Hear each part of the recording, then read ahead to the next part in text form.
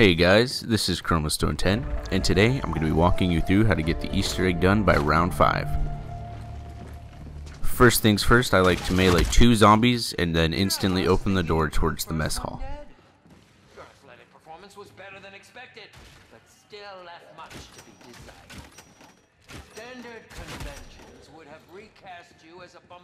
So we open the door to the mess hall, and I like to activate the melee challenge. It's completely optional, you don't have to. I just do it anyway because I'm going to be meleeing for the next couple rounds anyway, so might as well. Next, head over to the mess hall and pick up the first bow piece right in the middle of the room.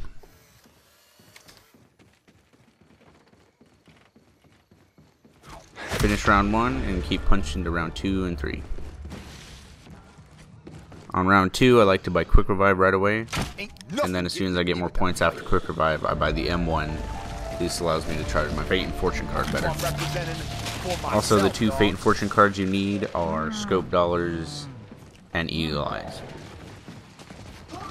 You can use whatever else you want for the other ones. For the, my other slots, I'm using Mana Up, Nade Party, and Shop Class to get an extra 200 free points from a Carpenter.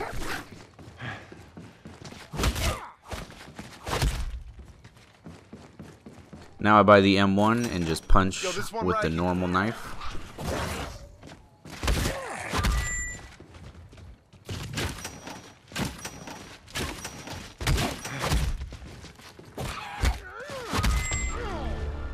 Yo, we gotta put the whole spot on lockdown, dog. Here I activate Eagle Eye right away the second I unlock it. So we're getting to round three because round three the zombies will start dropping rave pouches. And in rave mode you actually do more damage, have a speed boost, and get double points per kill.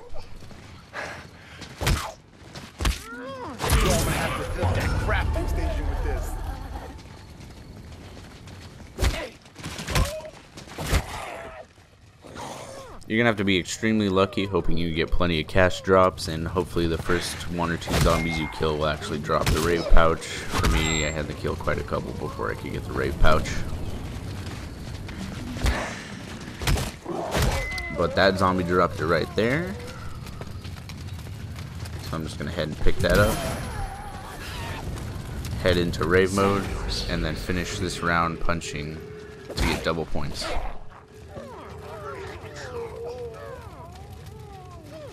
Although you should be warned, every time you get a kill in rave mode, it will drain your rave meter.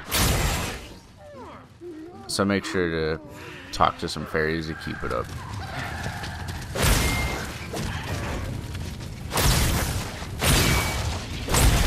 I just got my scope dollars card, so I'm gonna activate that next round.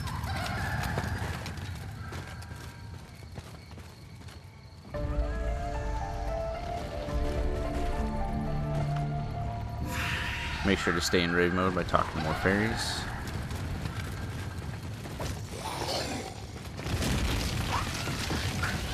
So I'm just going to train zombies around here so I can line them up with my scope dollars, activating it there. Now I just got to try to train them up as much as I can and get collateral shots to get enough points.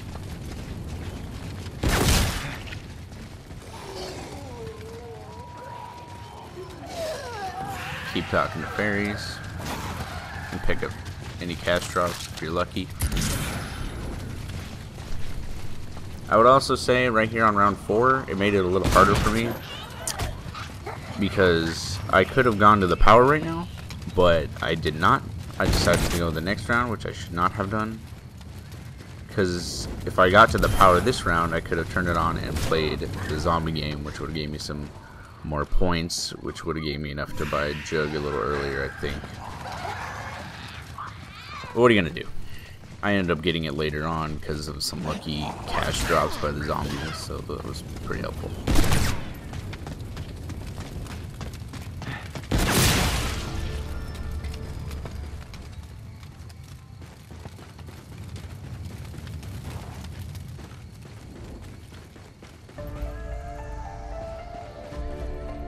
Just trying to stay in rave mode here I can get extra points while doing my scope dollars.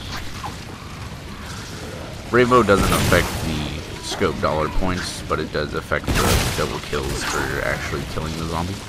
On round 5, I think always kill a couple zombies. Trying to save them to charge my statues so I can get my upgraded Oh crossbow. I need in to the get my hands on some of that perk candy. So now I'm heading over to power, and on the way I'm going to look for either the owl or the deer statue, oh, or both. You only need those two, really did a number or one or the other, whatever you like more, because they're the best bows. You don't need to pick up the eagle or the wolf bow. Here I find the deer.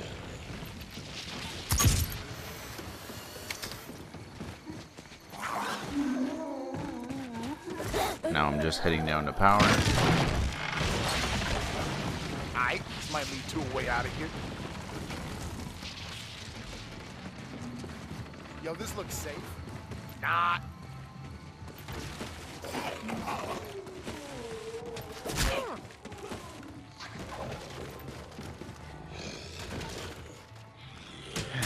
Power's on, you can head over to the rave area to get the last boat part and to buy the Type 2 assault rifle.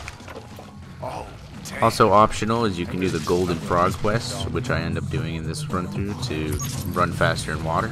And I actually find the owl statue in the RV as well. So make sure to place both of those on the speaker.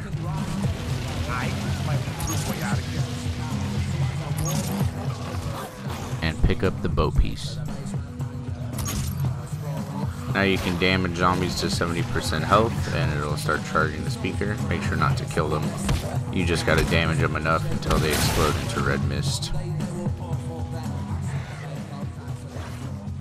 Here I go into rave mode so I can get a couple more points for trying to charge these statues. So I'm gonna try to damage most of them except two zombies. You can see him exploding into the red mist. showing It's being done correctly.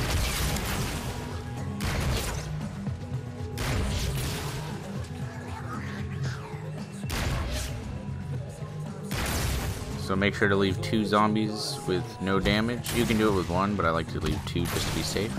Don't worry about statues not being charged yet. We can do it during the second ritual of the Easter egg. So now I'm just playing the zombie wheel game for some extra money.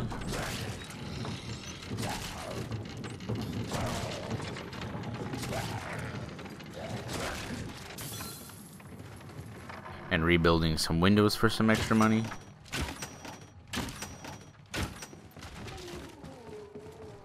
And now I'm heading upstairs to Tough Enough to get the last boat part. But I am not buying Tough Enough. And instead heading over to the docks. Um, Here I placed what down the the frog charm. here. Something you can do on your way to the docks, because you're already over there. But I'm not going to do it right now. Now on the docks, make sure to pick up the Pack-a-Punch reel and ride over to the island.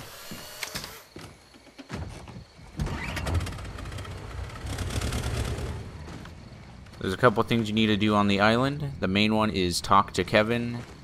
Second is pick up sausages, and third is to build Pack-a-Punch. Kevin Smith? Here I get the second reel for Pack-a-Punch. Activate that. AJ. Me and pick up a crew, we on sausage, mad dash to try to get And then now you want to Pack-a-Punch the Type 2. this hellhole ain't letting anybody. Yo, that's what we thought about Spaceland, dog. But we represented up in there. This is Rave in the Redwoods, sir. Spaceland was a Saturday morning cartoon show compared to Rave. This film is the epitome of morbid. Now that the Type 2 is Pack-a-Punched, we're going to leave the projector room. I get it. take the we're zip line back over to spawn, cavalry to show up. Cool piece of advice, my and now we're going to head to the rave area to pick up the first picture to start the first ritual.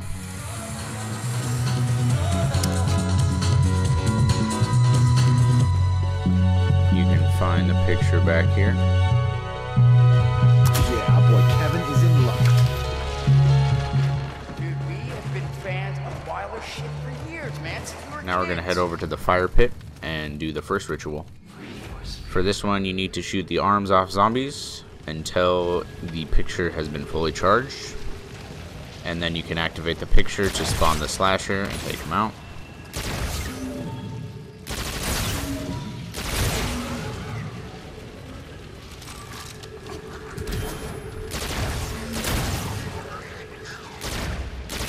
Rituals are great because you can get plenty of drops, gems, and more rave pouches. Here I find gas grenades. Those are going to be extremely helpful for the second ritual in charging the statues and making crawlers for the next ritual. So now that this one has been charged, I can activate it to bring the slasher out. So what I want to try to do is the zombies that spawn during the slasher ritual, you don't want to kill them because they will disappear like 9 or 10 seconds after you get out of rave mode. So as long as you don't kill them, and just try to shoot the slasher because you don't want to kill your last two zombies. Now you can pick up your picture and get your max ammo. Hopefully you have gas grenades by this point. Just how we want 'em, dog. Clips on full. Here I'm doing the crossbow unlock by going into rave mode, throwing a sausage at the deer heads and picking up their symbols. The first one's in the spawn room. The second one's in this middle cabin here.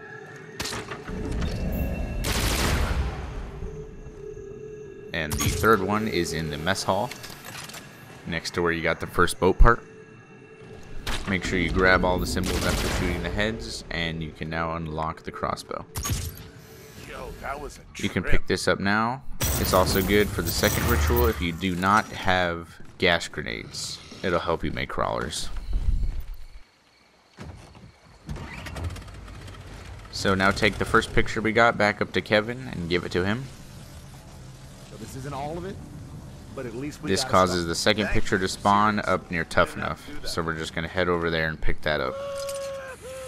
You can find it upstairs next to these bunk beds in the Tough Enough room right there. Yeah, hopefully this gets our boy back on track.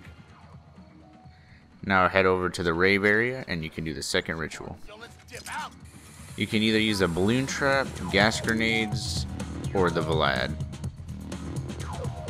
As long as they make crawlers, it'll all work fine. So here I train up a big horde and try to kill them in front of the statues so I can charge my statues up for the upgrade to the crossbow and also make crawlers for the ritual.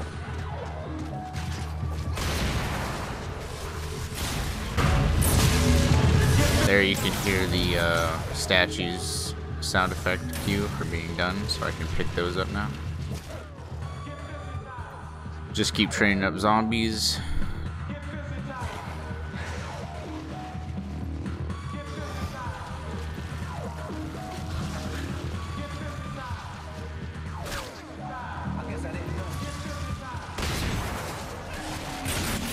There it is.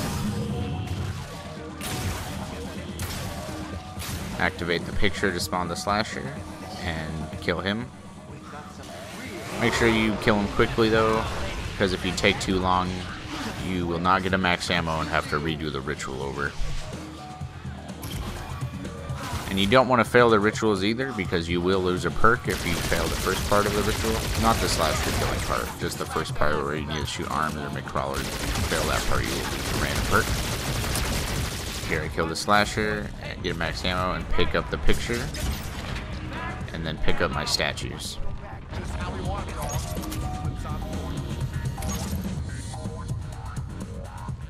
Now that I have my statues charged, I can place them at their respective larger statue. And all you have to do to get the upgrade is charge the statue with the normal crossbow explosions. So just keep shooting it, probably like 10 times or so, until it says you can pick it up.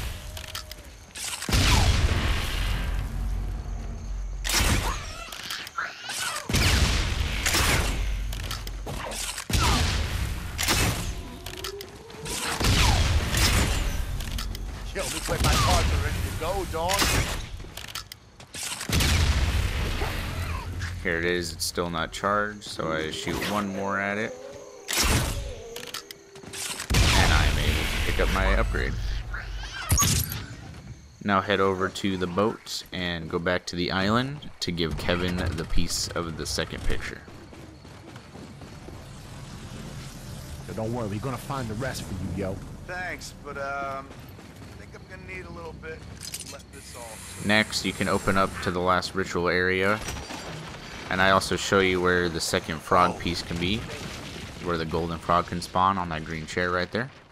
If he did not spawn in the RV for you. So hopefully you got a rave mode pouch from doing the, one of the rituals. So now you can go into rave mode and do the frog charm task. All you got to do is repeatedly jump off this little hill and punch at the ground. Make sure to smash on, I think, six frogs it is.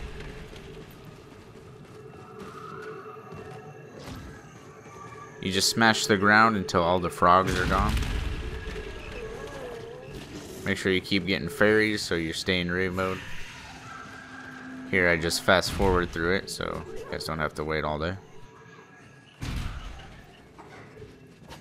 Getting more fairies, slamming the frogs. Here's the last one. And I am able to pick up the frog charm.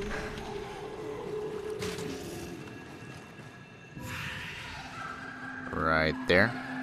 Make sure it's on your gun. You'll see the little frog symbol above your quick revive if you did it correctly. Now head over to the power room and pick up the skull ritual piece. Yo, that's the last one. Rave in the Redwoods? What the fuck were we doing in Rave in the Redwoods? I mean, come on, it was like a nightmare. come Now head back over to the lake. You can see me running full speed in the water with the frog charm. Here I tried to activate my shop class, but accidentally hit the rewind. But then I activate the shop class for free 200 points, trying to see if it would get me enough for Jug. Sadly, it was still 100 short. So I just did the ritual. For this ritual, you need to get headshots on zombies before you can interact with the picture, and then fight the final slasher. Be careful when fighting this third one, because each time you fight this slasher, he upgrades with a new attack. So, like the second time you fight him, he can shoot saw blades at you, and then the third time you fight him, he now throws grenades, and those grenades will insta down you if they explode next to you. So make sure you get away from those or throw them away.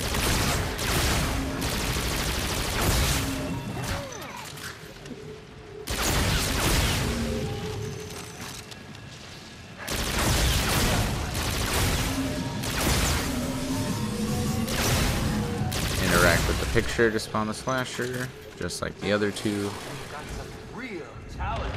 And you can see this frog charm is really helpful for this part of the ritual because it lets me run through the water with full speed, giving me much more room to fight this last slasher. Heads up! MC smashed that ass back in the hood, dog.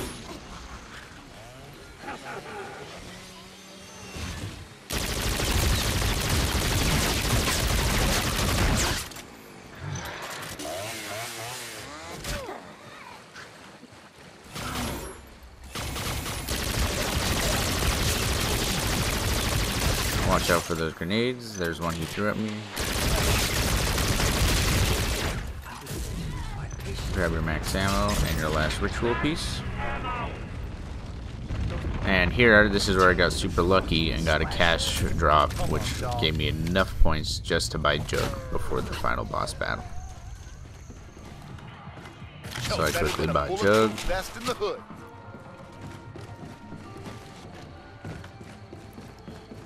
Head downstairs into the power room and activate the button. This will cause Kevin to be waiting on the boat for you. So now you can just head over to the docks and activate the final boss fight. Yo, I'm sorry I gotta be the bearer of bad news, dog. There's a few tips I'll give you during the boss fight.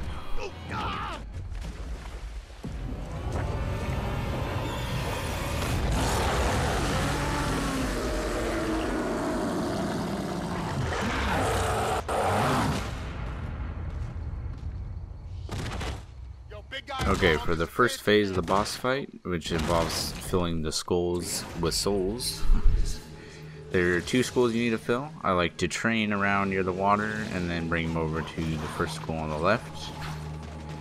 The boss fight is pretty easy as long as you keep a good distance from the slasher and don't get cornered anywhere.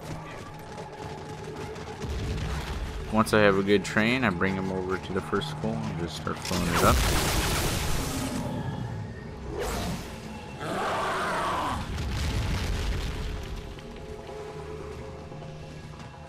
Watch out for the circle where the slasher is going to jump. He normally jumps after he does his ground slam with his foot.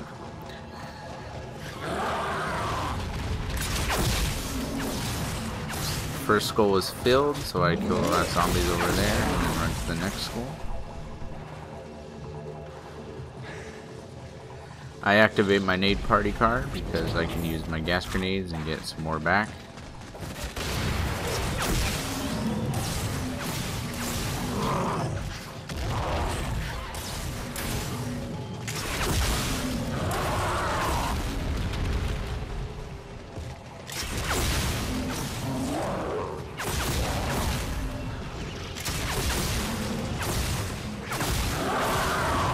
So once you fill both the skulls up, you just gotta bring the slasher over to this circle. It'll change locations each time, so make sure you just look around for it after filling up the skulls. I like to use the gas grenades to make crawlers. So on this step right here, if you don't kill the last zombie, if you leave one or two as a crawler, in this case I have three, I think I end up killing this running one, but if you just leave a couple crawlers, um, you don't have to worry about any more zombies spawning. Most people kill all these zombies, which causes another wave of zombies to respawn. So as long as you just keep some crawlers, you can just focus on the slasher's weak points without having a whole train.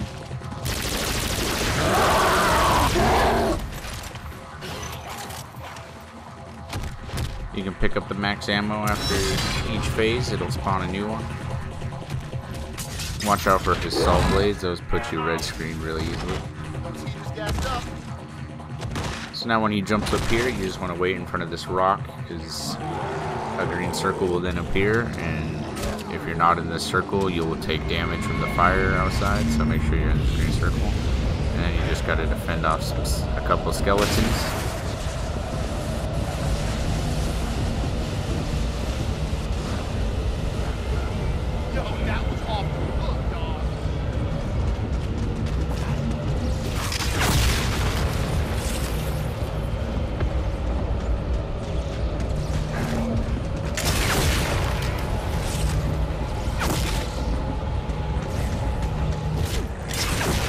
Now it'll put you back to phase one, where you gotta fill up skulls again, so just repeat the process by training up around the water.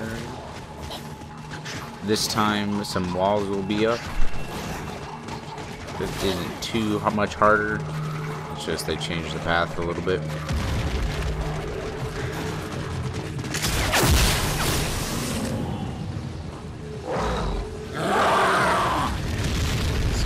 Training him some zombies, taking them to the skull over here. And once this one is glowing super bright blue, you can go to the next one, just like before. So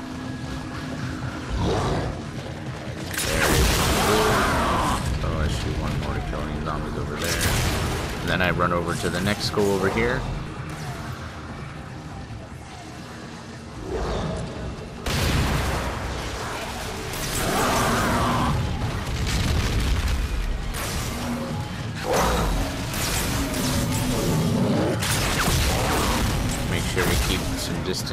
Slasher and watch out for when he jumps.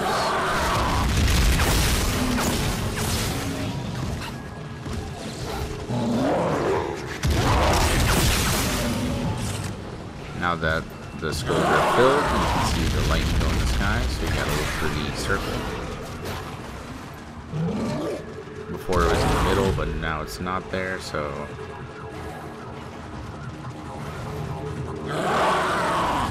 Here I just use my gas grenades to try to make a crawler.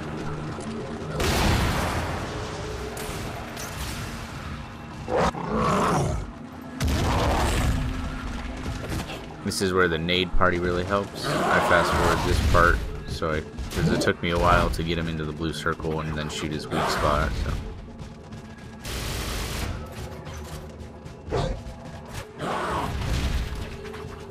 But I get him in the circle right here. He jumps near it, and then I make sure to back up far enough so he doesn't jump at me again. But he has to walk towards me instead. And then when he starts walking in the circle, I shoot right there where it's going.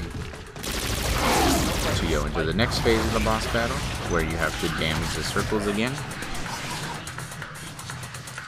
This is how you make a crawler. You throw your gas grenade, wait until it's almost gone, and then while it's going away, run through it and it'll damage them so they're crawlers. Now you can just focus on the slasher, shooting all of his glowing weak points. Make sure you get that max ammo if you're running low on ammo. I wait till I'm low and then grab it. Actually, I try to grab it before I finish the last circle because I'll get another max ammo on the skeleton step.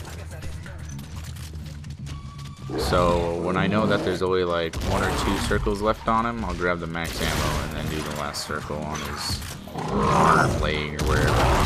Right there, it's on his arm, so I shot the weak point on his arm. He gets angry and brings out more saw blades. Make sure to watch out for those.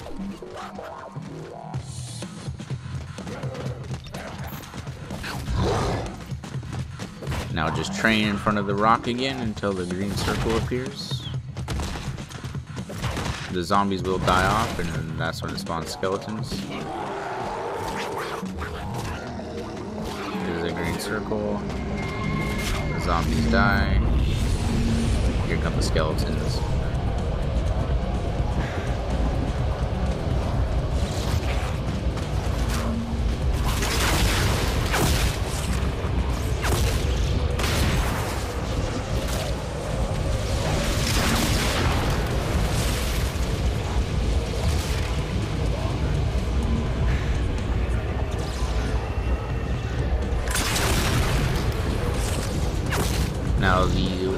Skull filling is a little bit trickier because some more walls will be up, but it really isn't much different.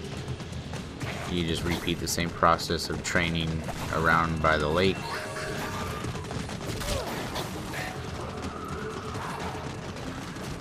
There's those walls. Once you got a good train, just bring them around this side over here. Watch out for the slasher though. If you get too close to him, he'll do a ground pound. He slams his foot on the ground. There I throw a gas grenade over by the skull just to kill any zombies that walk through it, but it didn't really do much. So I'm just training him again, bringing him over here. Kill, so I shoot when we're behind, or throw a gas grenade behind, or kill any zombies that run through it. So that way they spawn over here by this skull.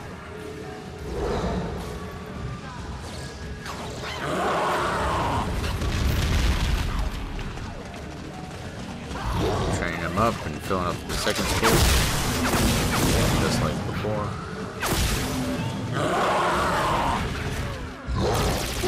Once you do that, you get him in the circle, shoot his weak spot again, and now you can shoot his weak points one more time. Keeping one zombie alive. Here's the last weak point, and once you get the last one, now you can fully damage him, because he will not go back onto the house, and you don't have to do the skeleton stuff again. Now you just have to fight him. And if you have gas grenades, these will just destroy him. Like if you throw a gas grenade at him, he's dead in like a couple seconds.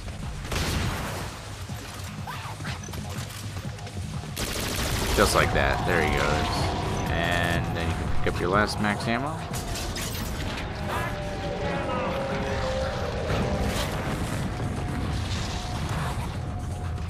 Wait a couple seconds, and wherever he died, he will drop a piece of the soul key. And that is the boss fight done by round 5.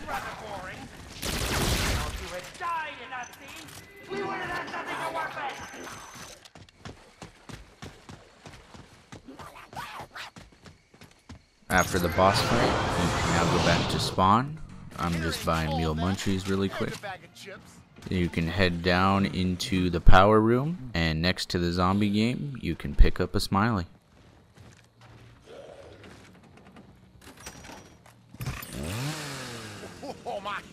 Hope you guys enjoyed. If you found this video helpful, please leave a like and subscribe for more.